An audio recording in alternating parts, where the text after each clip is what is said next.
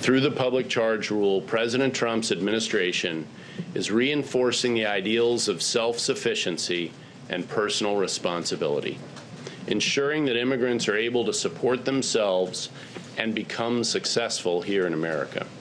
Public charge is now defined in a way that ensures the law is meaningfully enforced and that those who are subject to it are self sufficient.